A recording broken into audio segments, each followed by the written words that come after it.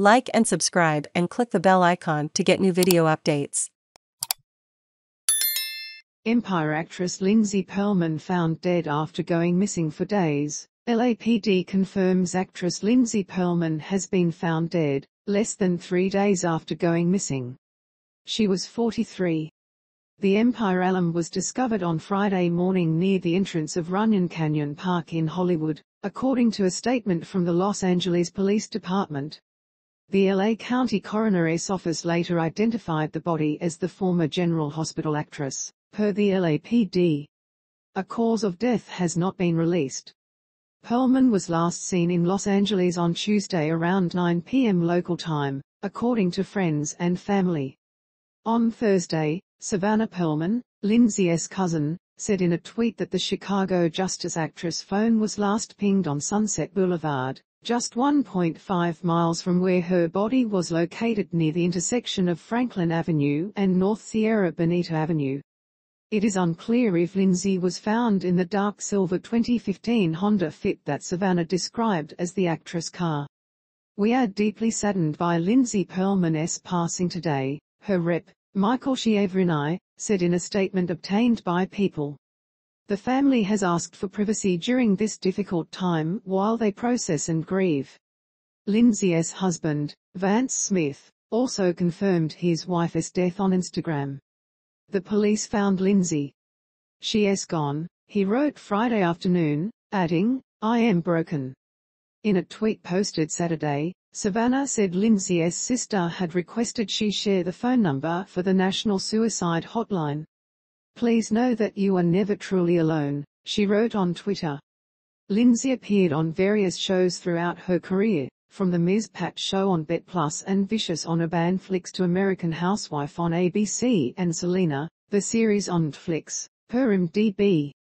Never miss a story, Sign up for People's free daily newsletter to stay up to date on the best of what People has to offer, from juicy celebrity news to compelling human interest stories.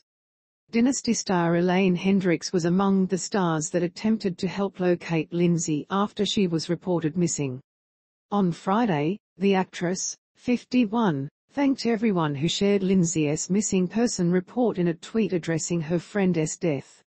I am deeply saddened and stunned to share that she was found deceased, Hendrix wrote, before adding, PLS send her friends and family love.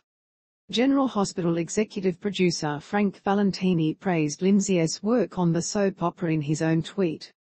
Lindsey Pearlman was terrific on at General Hospital and we are saddened to hear of this tragedy, he wrote on Friday. Our hearts go out to her family and friends. Pound GH. Former soap opera star Lynn Chen paid tribute to her friend Saturday morning on Twitter, alongside a photo of the animal-loving actress sitting on the ground while petting a dog and a cat. This is how I will remember Lindsey Pearlman. Effortlessly beautiful and talented. Hilarious. Compassionate. Unapologetic, wrote Chen, 45. She lit up every room. She listened intently on stage and off. She so loved animals. The actress added, I am sorry to her family and all the communities who deeply adored her. Ghost star Danielle Pinnock also mourned Lindsey's death in a tweet honoring the Chicago native and her journey to Hollywood. The 33-year-old star said she had talked to Lindsey two weeks ago. I met the most talented people ever in the Chi, Pinnock wrote on Saturday. She described Lindsey as hilarious, goofy AF, stunning, and ridiculously gifted. It feels surreal that she is gone, Pinnock added. Never miss a story, sign up for People's free weekly newsletter to get the biggest news of the week delivered to your inbox every Friday. Donations in honor of Lindsey can be made to Santee D, or, a volunteer-driven animal rescue and adoption center serving the greater Los Angeles area, according to her family and rep if you or someone you know is considering suicide, Please contact the National Suicide Prevention Lifeline at 1-800-273-TALK, 8255. Text strength to the crisis text line at 741-741 or go to suicidepreventionlifeline.org.